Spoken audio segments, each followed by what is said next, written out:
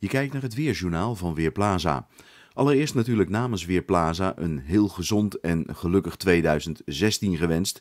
En het jaar begint met zonnige periode. Wat nevel in de ochtenduren misschien nog hier en daar, dat lost op. En vanochtend hebben we temperaturen van een graad of 5. Vanmiddag loopt het kwik op naar zo'n 7 graden in het noordoosten en 8 of 9 in het zuidwesten van het land. Wisselend bewolkt beeld, met zonnige perioden, ook wat wolkenvelden, blijft droog en de wind die stelt niet veel voor en wordt geleidelijk oost tot zuidoost. Vanavond zien we de bewolking langzaam toenemen, maar het blijft gewoon droog en de temperatuur ligt dan rond een graad of 6. Morgen een ander weerbeeld. Dan trekt er van het zuidwesten uit bewolking en regen over het land.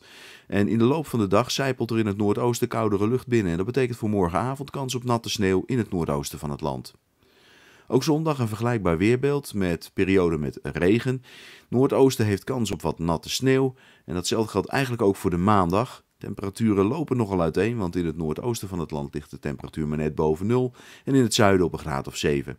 Dinsdag nog altijd weinig verandering in dit weerbeeld. Ik ben Marco Verhoef van Weerplaza.nl